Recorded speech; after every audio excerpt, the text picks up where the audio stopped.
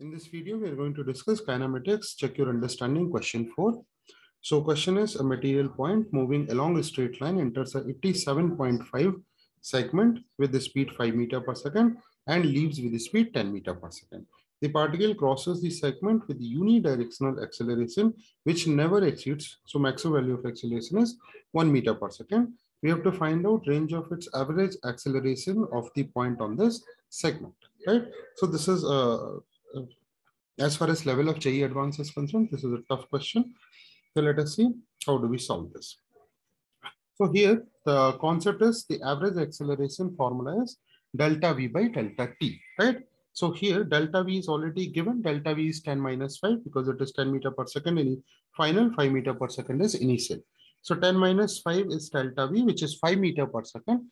And then since we have to find out range of average acceleration, there has to be a range on time. So we need to find out the range of time. Okay. So range means there will be a minimum time, there will be a maximum time. Now in this, first we are finding the minimum time, then we will reverse the logic and find out the maximum time. For minimum time, now the this uh, I have taken from the hint, right? The, that is given in the backside of the book. So, so and then you will understand, I will explain this. Sooner the particle increases its speed, minimum the time taken, right? Since maximum acceleration has a limited value, so you can have maximum only up to one meter per second. So sooner the particle increases its speed, for remaining time, right? For the remaining time, the particle can move with the higher speed, so thus minimizing time. So that's the concept. So now I have drawn the graph here for first case. This is velocity v and this is time, right? So let us see. So initially itself, the particle is moving with the maximum possible acceleration. So this is the maximum possible acceleration one. That is why dv v versus t graph, its slope will give acceleration. So this is 45, right? And 45 is one. Then particle comes here, increases the maximum speed and speed cannot be more than 10 and then continues with 10 meter per second, right? We need to find out how much time it will take. So then we also know that V versus T graph, uh, the area of that graph will give us the total displacement, which is 87.5 given in the question. So now see, this is 5. So since this angle is 45, this is also 5 seconds. So this 5, this T naught I have to find out. So this T naught we'll find out from the area under the curve. So area under the curve, this area is 25. This area is 25 by 2. And this area is, this is 10 T naught. This is equal to 175 by 2, 87.5 I have written as 175 by 2, T naught comes out to be 5 seconds. So minimum time is how much? 10 seconds. So minimum 10 seconds the particle will take. So if it is 10 seconds and then see here velocity was 5. So the first answer will be if minimum time, that means we are getting maximum value of average acceleration. So the maximum value of average acceleration is 0.5 meter per second square.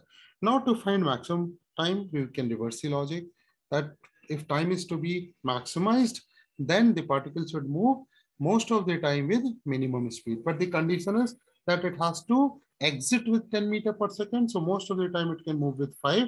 Then after that, take maximum acceleration and exit with 10. So here this area should be 87.5, right? Since this is again 45 degree, so this is 5, this makes it 5. Now this we will, this T naught duration we will calculate from area under the curve. So area kitna? ये 5 T naught हुआ, this is 5 T naught. This is 25 by 2, 25 by 2, this is 25, right? So that, that's 25. So this is equal to 175. From here you get T naught as 10 seconds. So total time here is 15 seconds. This is maximum time, minimum average acceleration, which is 0.33.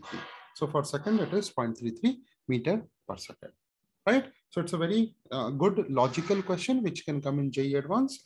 Uh, so if you, if you have not understood, you can just watch this video once again. And keep this logic in mind that for minimum average acceleration and maximum average acceleration, whatever logic we have applied, keep this in mind, right? And either this question can come or a similar question also can come in JEE Advance 2022. So that's it.